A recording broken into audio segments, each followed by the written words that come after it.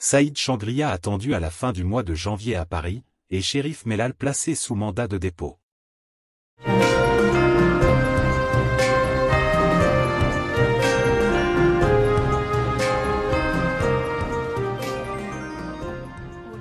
Saïd Changria attendu à la fin du mois de janvier à Paris. Le chef d'état-major algérien Saïd Changria est attendu à la fin du mois de janvier à Paris, où il rencontrera son homologue Thierry Burkhardt pour préparer la visite du président algérien prévue en mai, a indiqué mercredi à l'AFP une source militaire. Cette rencontre est hautement symbolique alors qu'aucun patron de l'armée algérienne ne s'est rendu en France en visite officielle depuis près de 17 ans. La dernière visite d'un chef d'état-major algérien en France remonte en effet à Gaïd Salah en mai 2006. Monsieur Burkhardt avait rencontré son homologue algérien les 25 et 26 août 2022 lors du voyage du président français Emmanuel Macron en Algérie. Les généraux avaient alors évoqué la situation sécuritaire au Sahel et abordé le renforcement de la coopération entre les armées algériennes et françaises. Outre la visite d'État du président algérien, les deux chefs d'état-major devraient une nouvelle fois discuter fin janvier de la situation au Sahel.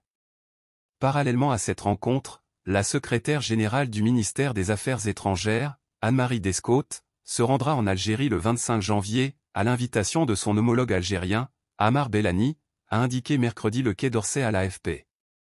Le président algérien Abdelmajid Tebboune et son homologue français ont convenu dimanche, lors d'un entretien téléphonique, d'une visite à Paris en mai.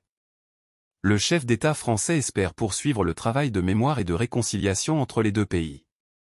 Le voyage d'Emmanuel Macron à Alger en août avait permis de remettre la relation bilatérale sur les rails, après une crise liée à des propos qu'il avait tenus en octobre 2021. La question mémorielle autour de la colonisation française, 1830 à 1962, et la sanglante guerre de libération, 1954 à 1962, avait en effet provoqué une grave brouille entre les deux pays à l'automne 2021, avant que M. Macron ne fasse amende honorable. Fin décembre, M. Tebboune avait salué la nouvelle relation de confiance entre la France et l'Algérie, et annoncé une visite d'État en France en 2023, dans un entretien au quotidien français Le Figaro.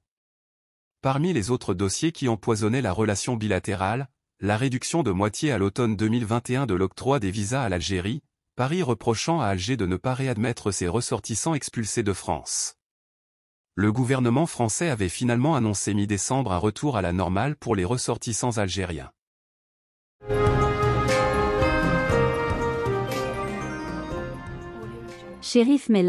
L'ex-président de la JSK, placé sous mandat de dépôt. L'ex-président de la JSK Billy, Shérif Mellal, n'en finit pas avec ses démêlés judiciaires. En effet, il a été placé aujourd'hui en mandat dépôt en raison d'une affaire de corruption. L'ancien président de la JS Kabylie, Shérif Mellal, est au cœur d'une affaire de corruption.